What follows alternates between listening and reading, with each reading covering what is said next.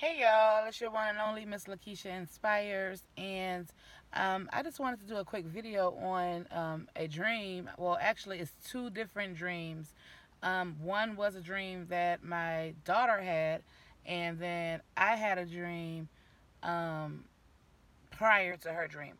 So my dream was I was um,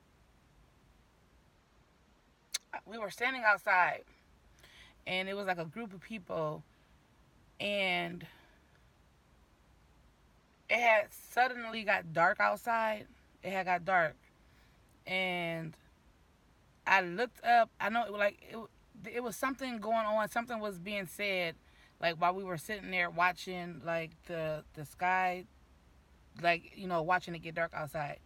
So anyways i look up to the sky and it's black. It's like it looked like a smoky gray cloud. It was just like black, um, dark.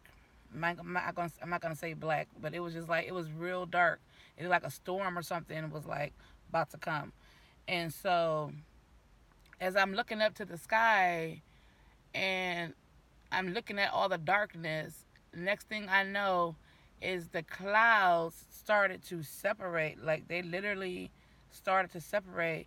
And when they separated, I seen lights and the Lord Jesus, his face was right there. He was like looking down on me. And I did not know like what it meant or anything. I'm still um trying to I'm still waiting for some answers to like what was their dream about and whatnot. But so that was my dream. I had seen I I seen God. I seen the Lord Jesus Christ because it looked like the the face that I seen like until this day and this was like almost a year ago because i was still pregnant with my daughter so actually it was over a year ago because she's a year old so um it was like I, I still it, the, his face like is still like I still I can see it. Like is it was very vivid okay? So then a couple of days ago uh, I'm sorry guys my battery's about to die on my phone so it paused. Okay so then um like last week my daughter comes to me and she was like um mom she was like I had a dream and and um she was just like I was like what kind of dream? She said I think it was a rapture dream. And so I was like well what did you see in your dream? And she was like I tried to get her to come on here and tell you all the story but she was like it was it wasn't that long of a dream. It wasn't like it wasn't like um it wasn't a long she felt like it because it wasn't a long dream that it was not you know maybe worth sharing, but I'm going to share with you guys because I think it's definitely worth sharing. Um, so she said that um, she said I, I forgot where she said we were at. I'm gonna have to update you guys on that, but she said she we was flying in the air, and she said only thing and she and that's another reason why she didn't want to share because she said it, she didn't have like a lot of information but just by the little bit of things the little bit of information that she did give me i know that it was definitely a rapture dream. So um, she said we was flying up to the sky and then when we got up there only thing she remember saying is like we finally made it. Like we're here we're finally here or something like that.